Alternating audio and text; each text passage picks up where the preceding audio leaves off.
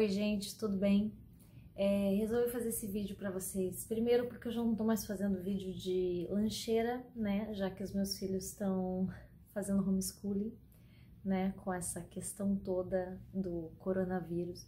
Eu quero fazer um vídeo para vocês um pouquinho, para falar um pouquinho como, como tá, o que tá acontecendo aqui nos Estados Unidos com relação a isso.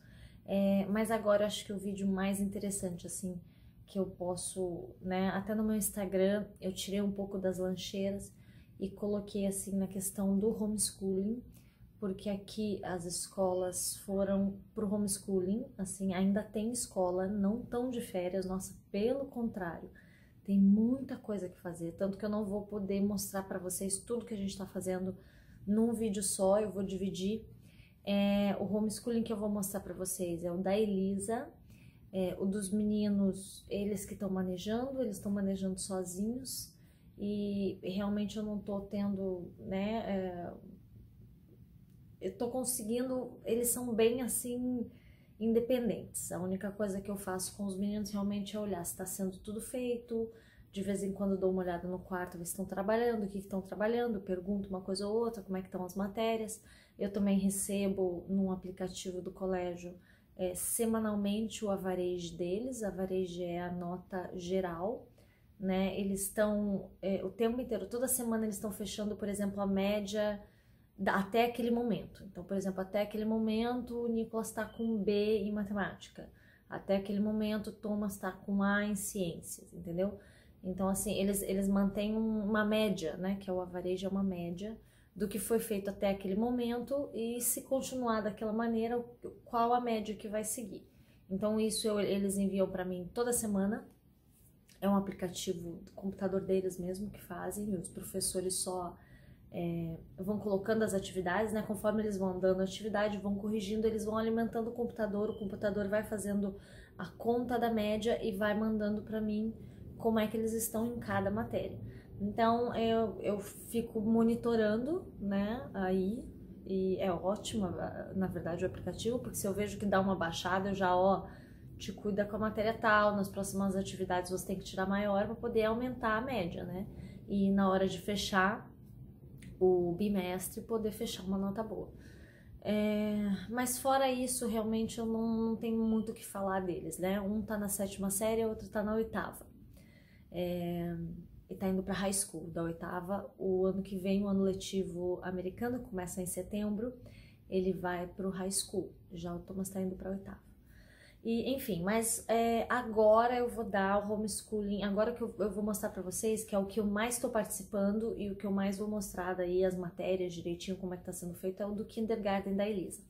Eu liguei para uma professora amiga minha, ela é uma professora há muitos anos, maravilhosa do Brasil, foi professora do meu filho e assim a gente é muito amiga até hoje. E eu comentei com ela é, qual seria, de acordo com o que a Elisa tá, tá aprendendo, né? Eu expliquei para ela todas as matérias que a Elisa tá aprendendo, qual seria o, a, a, a, a série né, no Brasil que estaria aprendendo isso que a Elisa está aprendendo, né? Porque se você for pensar, kindergarten seria o pré do Brasil, né? Que depois ano que vem a Elisa vai para a primeira série aqui, né? First grade.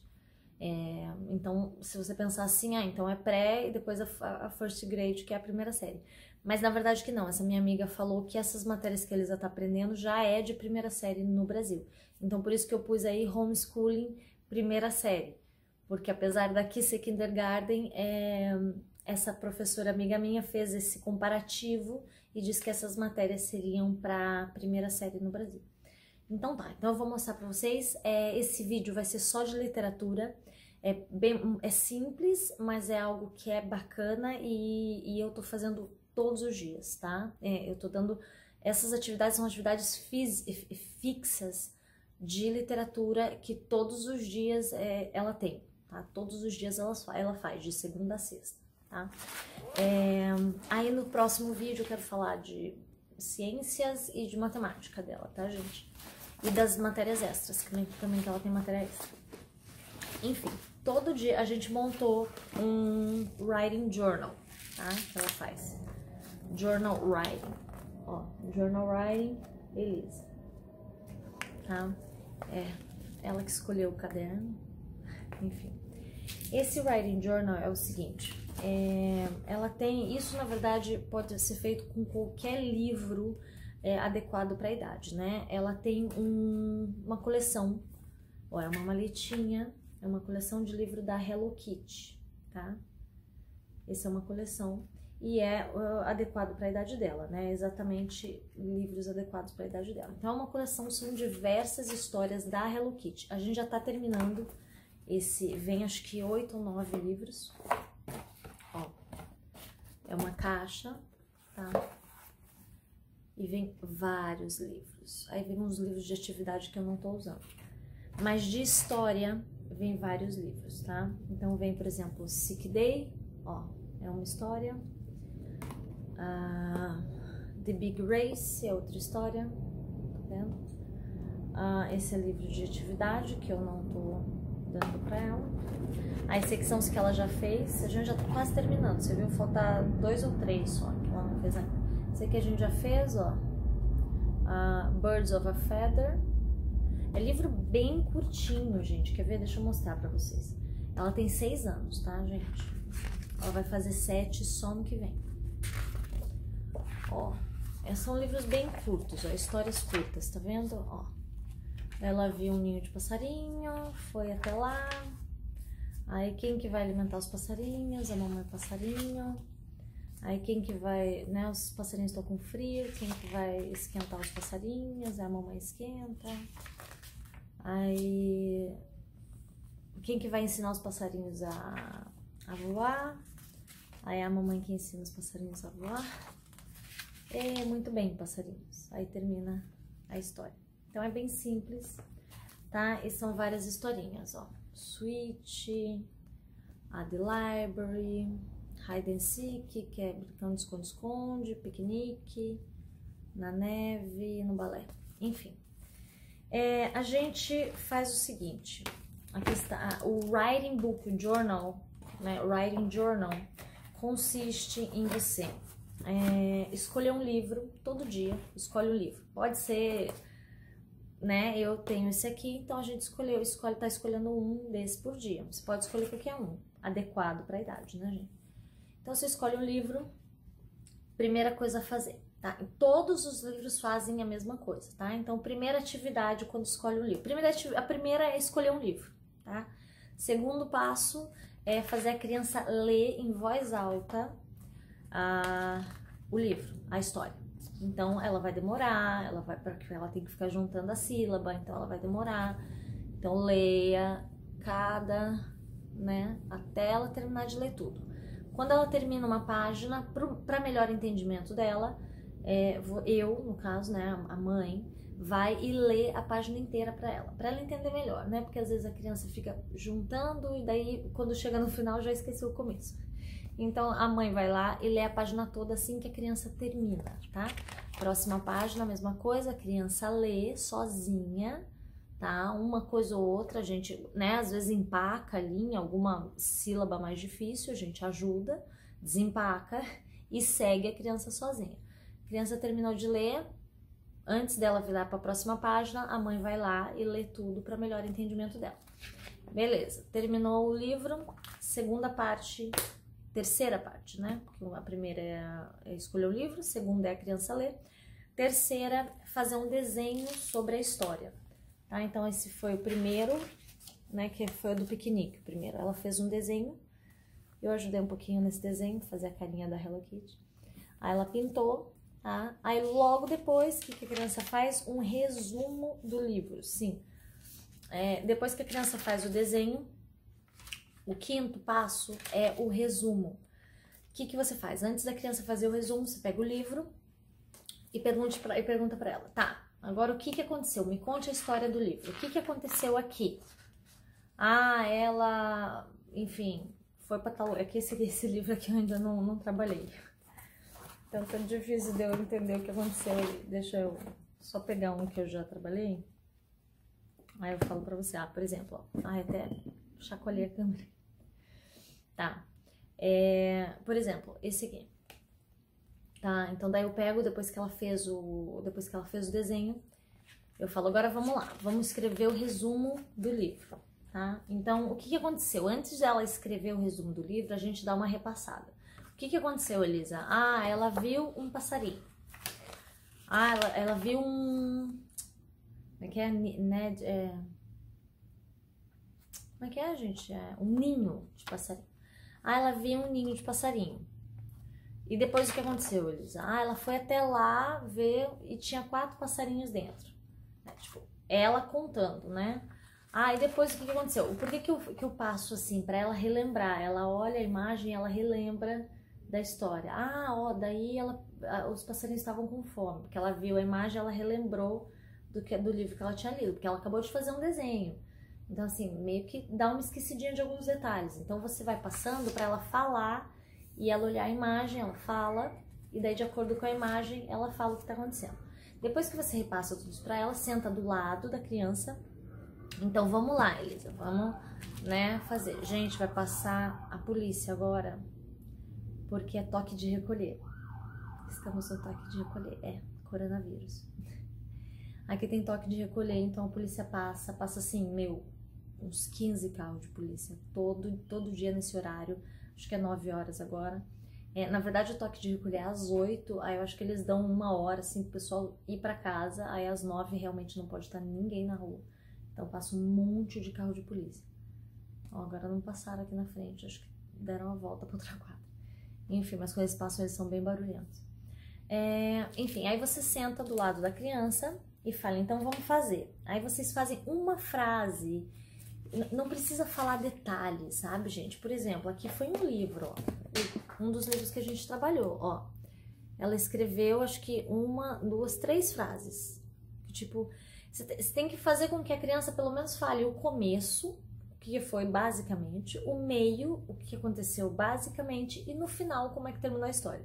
Para a criança entender o começo, meio e fim tá? Mas ainda é um resumo muito simples, o livro em si é simples e o resumo também é muito simples para a criança só entender como é que se faz um resumo com começo, meio e fim, né? É, e não precisa de detalhes, sabe? Por enquanto não precisa de detalhes, só realmente encurta, né? Aqui foi outro dia, ó, foi da neve, da Hello Kitty na neve, e ó, também foi curtinho, tá vendo? Ela só explicou o que aconteceu.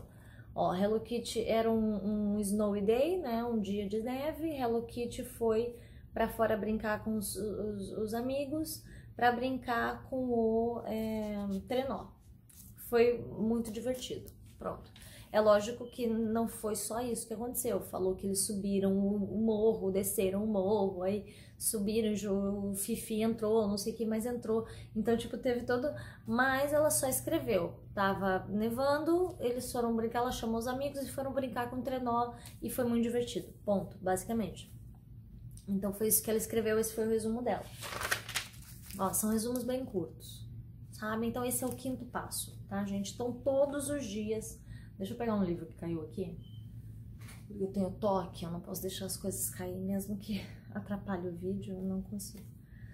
Enfim, então assim, é, isso é uma coisa que a gente faz todos os dias. Uma vez que acabe o nosso, a nossa coleção de Hello Kitty, é, a Elisa pegou a mesma coleção das princesas. Então a gente tem a mesma pastinha, porém das princesas, ui, das princesas da, ó, tá até abertinho aqui, de tanto que a gente fica levando pra lá e pra cá. Das princesas da Disney, que com certeza deve ter uns 9, 10 livros, e daqui vai de novo, um livro por dia, fazendo a mesma coisa, tá? Então isso é uma coisa que a gente faz sempre, sempre, tá? Todos os dias. Amanhã vai ser esse aqui, ó na piscina. Acho que são nove, nove ou dez livros no total. Enfim, outra coisa que a gente faz, então vocês entenderam essa, né? Eu vou pôr embaixo sempre aqui, tipo, número um, número dois, blá, blá. Tá, outra coisa que a gente faz é, todos os dias, é uma pergunta para ela desenvolver a resposta e desenhar. Deixa eu tentar pegar mais ou menos como é que funciona para vocês entenderem. Por exemplo, faz perguntas assim que possa mexer com a criatividade da criança, tá? Isso tudo é na área de literatura, histórias, não história de história, mas é, literatura, né? Literatura português pode se encaixar, né? Literatura português. Ó, é, são perguntas todos os dias é, que possa desenvolver a criatividade. Então, por exemplo, esse aqui, por exemplo, foi é, qual é o seu livro favorito e o porquê, né? Então a criança tem que parar, pensar na pergunta, pensar no motivo, desenhar, usar a imaginação, desenhar sobre aquela pergunta e responder a pergunta de uma forma clara que a outra pessoa entenda, tá? Então a pergunta é simples, que foi desenvolvida, ó. What's your favorite book and why? Tá? E daí ela pôs aqui, ela desenhou Rapunzel. E daí é que ela escreveu Rapunzel porque ela se casa com o Flynn no final. Por isso que é o livro favorito dela. Outra pergunta. É, o porquê crianças devem ir para a escola? Ela tem que pensar, desenhar e responder. Então ela desenhou ela, ela tá sempre com a coroa. Aqui é a escola? E daí que ela fez a resposta dela. É porque eles precisam aprender matemática e muitas outras coisas. Muitas coisas, né? Essa é a resposta dela.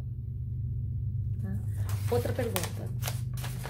De outro dia, né, gente? Lembrando que isso é um por dia, tá?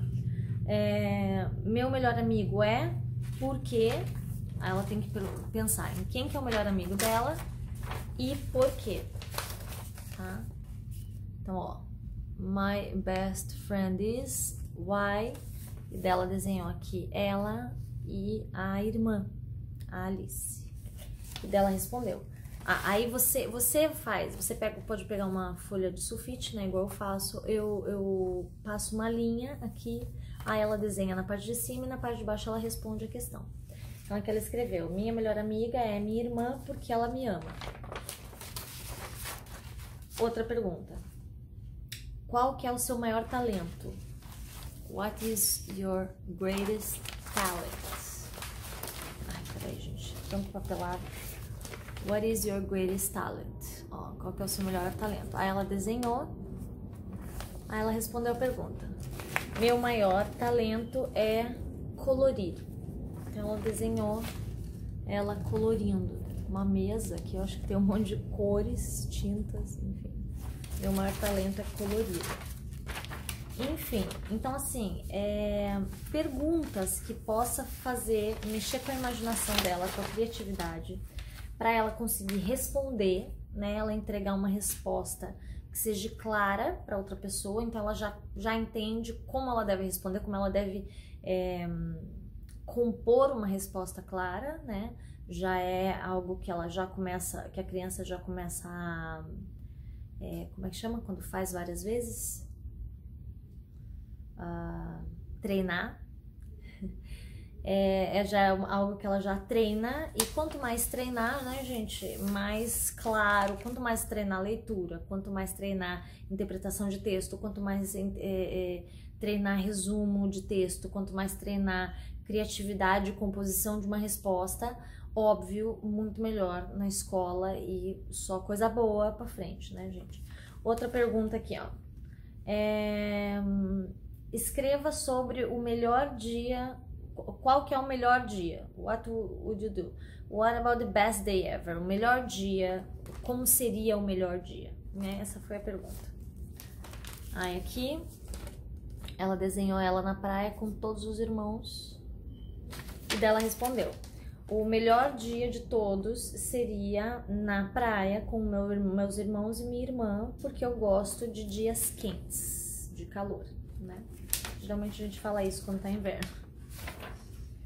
Ah, outro, prometo que é o último. é, nos dias de ficar em casa, o que mais você gosta de fazer? Aí ela desenhou ela, uma mesinha com umas bolinhas e ela respondeu: eu gosto de fazer bracelet, né? Que é pulseira. Aquelas pulseirinhas, ela tá vidrada agora nesse negócio de fazer pulseira. Ah, mas enfim, gente, então são essas duas dicas que eu quero passar para vocês de homeschooling, tá? É, essa do livro, um livro por dia, é, com esses passos, né, que eu deixei aqui, expliquei no começo do vídeo. Uh, primeiro, escolher um livro. Segundo, ler o livro e ajudando a criança a ler o livro, obviamente, mas é a criança que tem que ler o livro, lembrando. É, terceiro, fazer um desenho sobre o livro. É, quarto, é só quatro? Fazer um desenho e fazer um resumo sobre o livro. É isso, escolher um livro, uh, ler o livro, fazer um desenho sobre o livro e a fazer um resumo sobre o livro. Então são quatro coisas na área de literatura. É, e nessa área aí de usar a criatividade, você escolher uma pergunta que possa fazer com que a criança tenha uma resposta, elabore uma resposta interessante, criativa e logo sempre, lógico, sempre juntando com o desenho também para ela, porque o desenho ajuda ela até a montar melhor a, a resposta dela, né? Porque ela, ela visualiza, ajuda a visualização. E isso depois mais para frente é muito importante na hora que a criança está lendo um livro, mais para frente mesmo que não seja criança, né, que cresça, na hora é muito importante ela saber visualizar né, as histórias, o que ela está lendo. Então agora é interessante que sempre é, entre a leitura é, se coloque desenhos juntos, justamente para treinar a visualização. Mais para frente ela não vai nem precisar desenhar o desenho, já vai estar tá visualizado na cabecinha dele, já vai dá aí para é, viajar em muitas literaturas só com a cabeça, sem precisar desenhar nada. É isso, gente. Esse é o homeschooling então de literatura e português seria talvez mais ou menos, né, porque tem gramática e tal, não entra isso. E daí nas próximas, nos próximos vídeos sobre homeschooling eu vou falar um pouco sobre ciências e matemática e aulas extras também, que daí entra saúde, arte e acho que teatro também vai entrar. É isso, gente. Um beijo. Até o próximo vídeo.